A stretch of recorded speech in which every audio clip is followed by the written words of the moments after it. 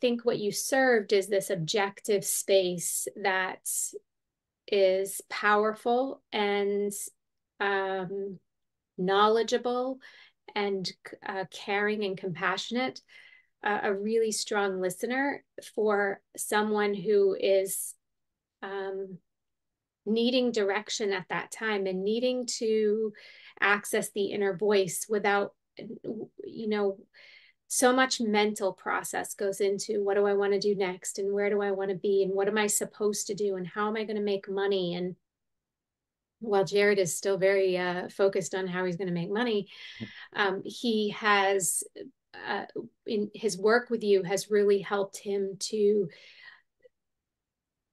be more uh, aware of himself um, and more in a more holistic way rather than just make um, pragmatic decisions or go with the practical thing to do. Um, all that being said, he really, really, really wants to go in the military uh, so that he's not doing nothing between when he graduates and when he starts chiropractic school. And I keep saying, uh, I haven't even heard about that. Just take a break. so, huh. yeah. Um, and that's and just sidebar note like that's really hard for me as a parent right? Like uh to because i don't well, particularly with your background that. yeah particularly um, perspective and background and viewpoint yeah. Right and just want to honor him. And so um, you know this isn't totally a void of the direction of the conversation because he we were spoke we were speaking yesterday and he said you know if it wasn't for my disagreement with with the uh, choices that the United States is, um, you know, interjecting themselves into.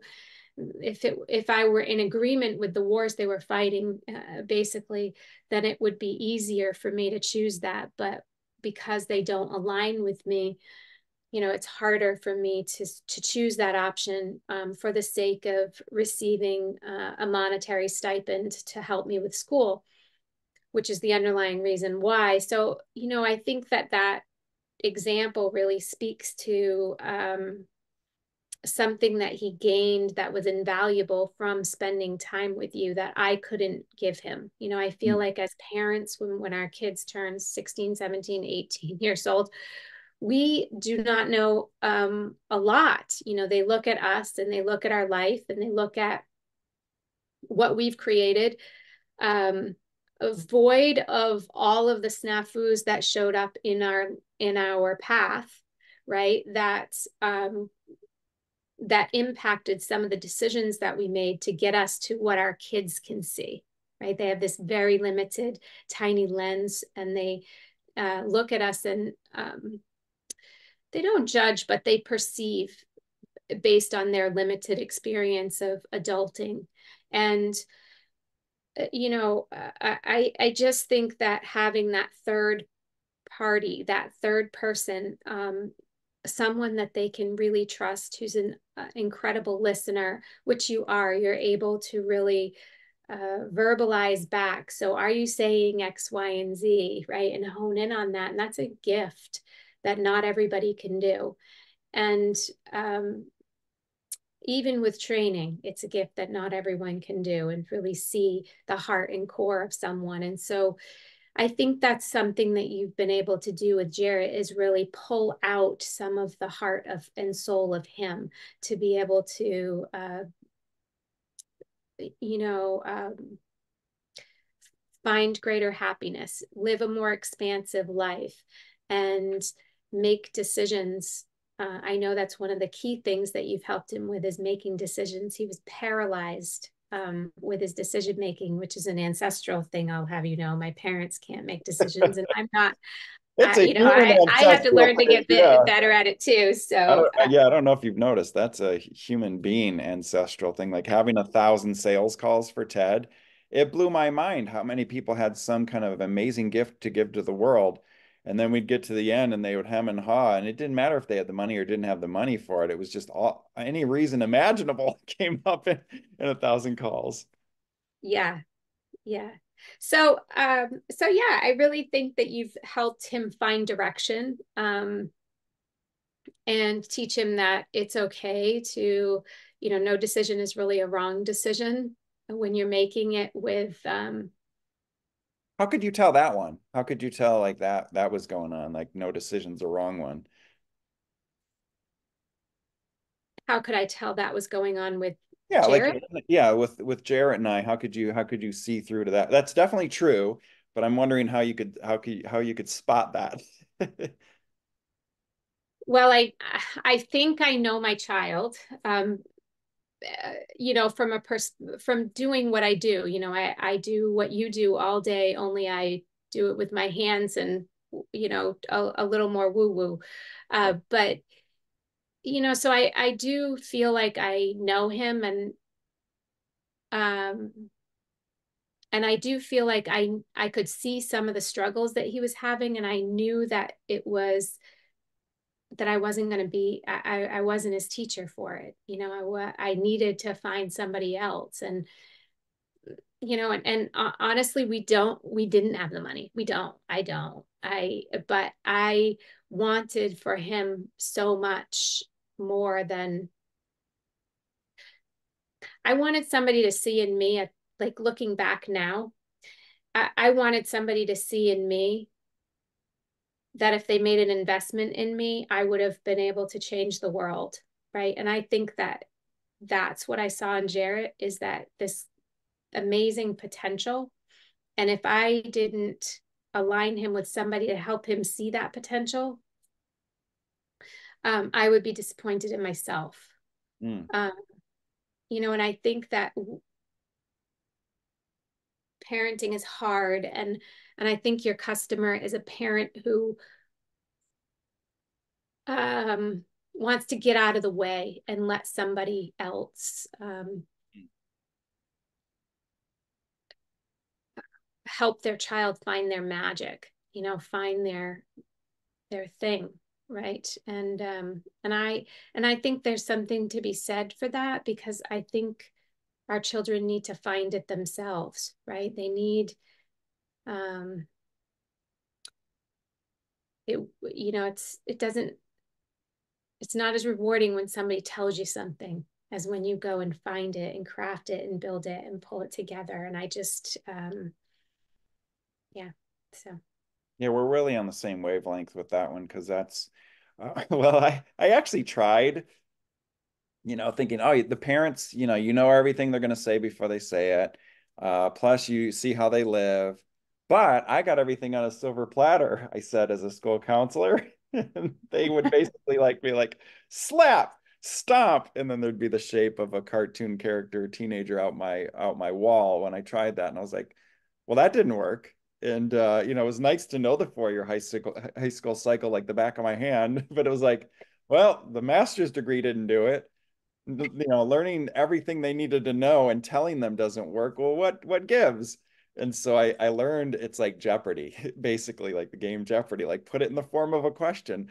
I know where they should probably go. And, uh, you know, I could tell them where they should go, and that doesn't work.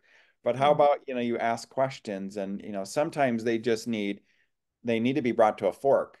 And sometimes it's like the stupidest choice A and the obvious choice B, but they'd rather me not tell them B.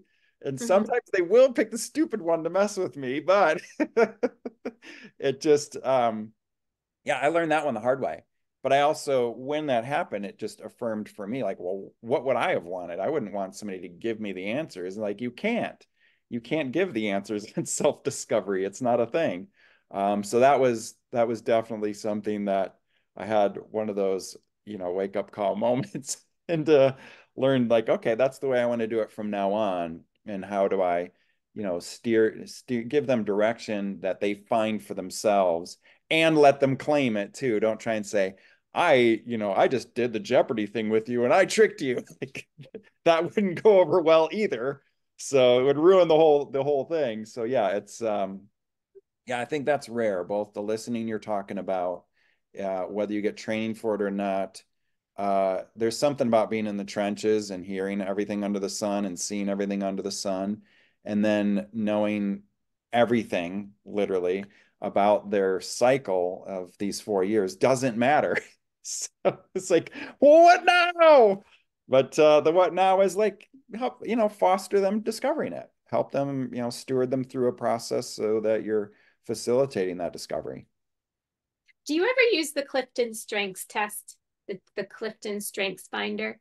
I have not used that one. No.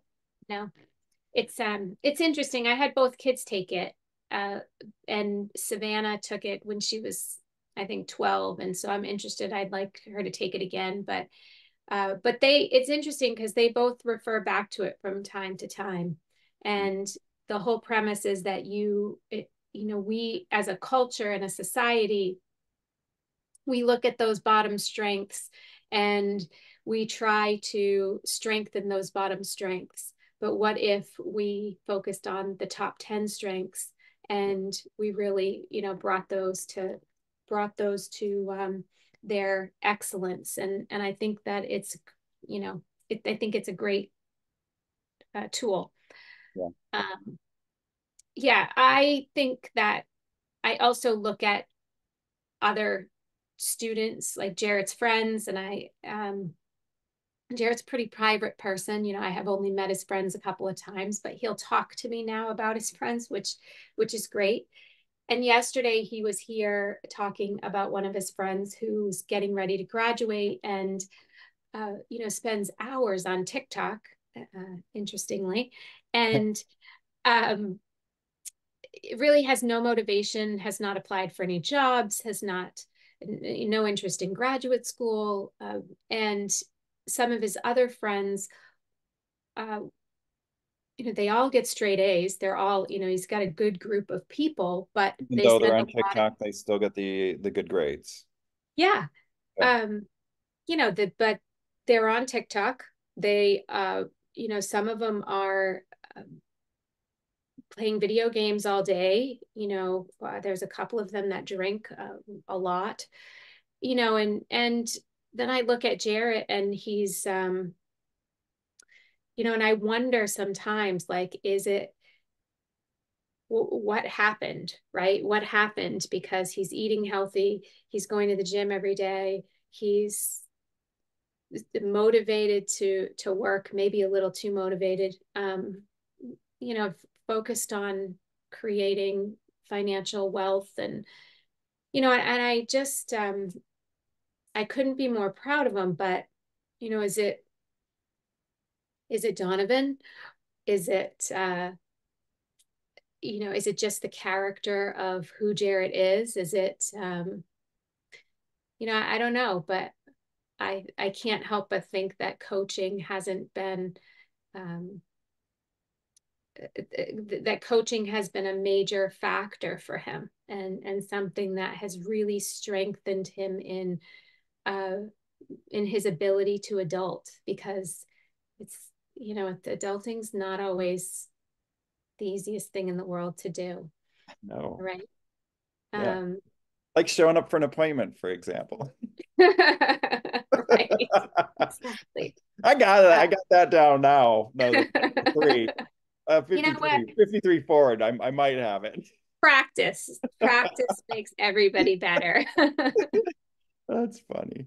Yeah, well, I think I've I I in my 20 years, if if a parent would be like too um, casual about their kid turning out well and and they just weren't sure if it's character or not, not I would automatically say, pat yourself on the back, do like this right now because I haven't seen any that that wasn't a factor. And i haven't seen any with serious problems as well that the the state of the um the state of their nuclear family wasn't the answer there either. So the best and the worst it was always it always traced back to the nuclear family.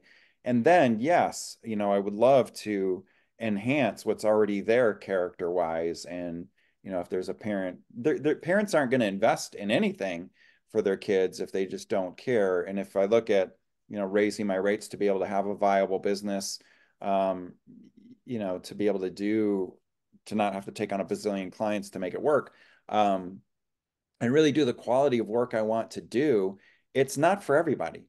You know, it's it's going to have to be for number one, the parent believes in the investment, and two, uh, I think I have to convey just like the quality of coaching I've developed, like the things that you're talking about feel all like good and warm and fuzzy, but also not like I'm not shocked either. It's like that makes sense. All of that makes sense.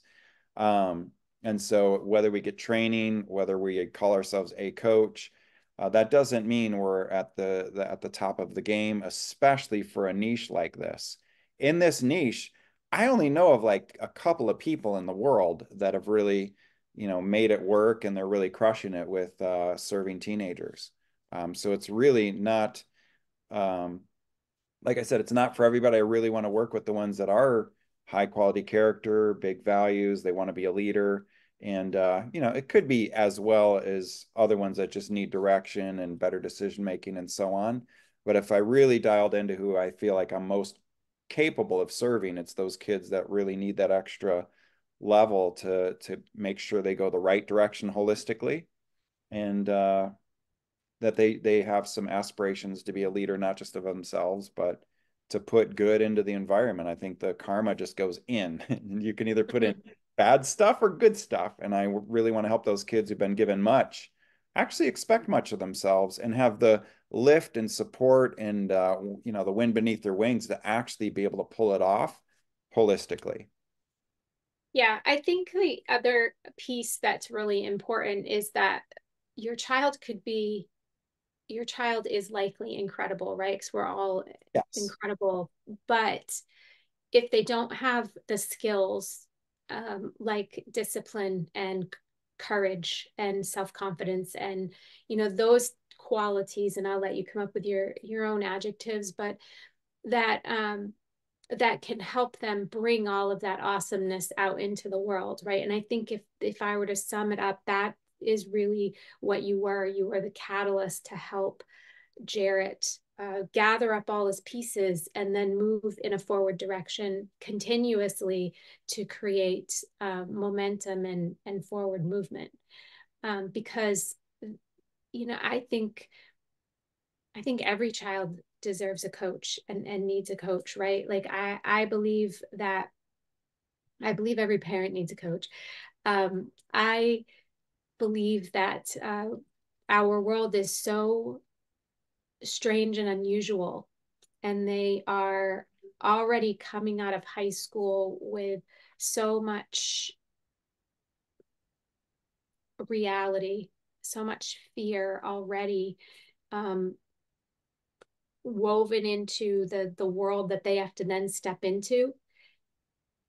That a coach simply helps them um, organize themselves to get onto a path that's going to help them um, be successful right and and what parent doesn't want that and i think that it's necessary not just a luxury a, necess- a necessity and that's why i invested in it um, you know when my parents who were sitting upstairs the day that we said that I forced him into it, and shoved him off the the cliff, um, and thought I was crazy for spending that kind of money, right? Um, so to, to get to your final question, because I do have a client that's expected it too. He, you know, um, I think your your work is priceless. I really do because we're making this investment into our young people who are going to serve the world. And when I look at my son, um, you know, and it's not, uh, when I look at my son, I'm like, we're going to be all right. We are going to be all right because I know that there's a group of people out there like him, right? That, um, that just are rooted and grounded and in their body. And I think coaching helps with that and as other things but you know i look at him and i think we're going to be all right and so um you know i personally think that the investment should come from both both the child and the parent um, the first session i paid for myself yeah. um, that, second, I mean that's been really amazing to see you know Jarrett make that decision to keep going. I mean, we've spread it out more, and like that's great. You spread and it out. Thank you for that. Thank you for making it possible for him because I I know you've been incredibly generous to him and um and you've worked with him and yeah. I you know I um thank you for doing that because you have made uh, a mark in his life. You've made a difference, and you've and and the the other thing that you've done is really made coaching um, not just accessible, but like normal, right? Like when I looked at when I decided to do uh, coaching uh, when I was much later in life, right? It was like, oh, should I do this? Should I not do this? You just met my three protectors. So, uh, um, you know, so like I think that's the other huge gift that we can give the people of that age group is like it's it's normal uh, to build a team of support and to have that um, level of uh, support around you and and it's normal to make that investment in you. And so um, i don't know what is the right price. I will say whatever you've chosen is more than likely um, the right price you know i um, I, I think um, and I also think that the price has to be high enough that it weeds out the people who are not ready for you. Right. Um, because I I've learned the pricing thing the hard way. And I and I probably am still learning. Um, but I think it's just really important that you charge what needs to be charged. And, you know, again, you've been so gracious in working with my son because I feel like he's proven um, that he's meeting you where you, he needs to meet you for you to do that. Right. And that flexibility that's in the background that you can pull out when you need to and want to um, is, is critical and important. Yeah, I think that's where the school counseling really helped to have that full perspective. And you know, I mean, really creating creating a way to de- demystify the inner world, which is my green, yellow, and red philosophy, makes like what what it revealed is exactly what you said. Is in the section in the middle, it's beyond our ability to do it ourselves. It's not necessary for therapy yet. But in that middle, what we're lacking out there, basically almost to a person, is insufficient support. You know, my coach that I currently right had right now, she said, I'm always going to be coached up. I was like, I like the sound of that. Everybody should always be coached up. Not only should we get coaching just once, but it should be normal that we do have that support system for the yellow level stuff. I agree. I agree.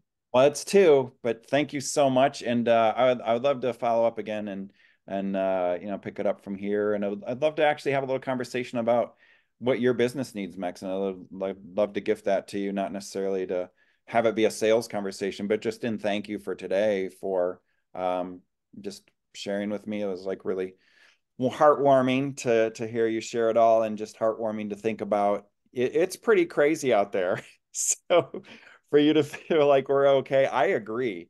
We are totally okay, and we've got the ability to tap into these, you know, next coming generations with better tools than we've ever had to to pour into them than ever in history. So despite being things being pretty crazy out there, we can really, I think, do something special for the up and comers.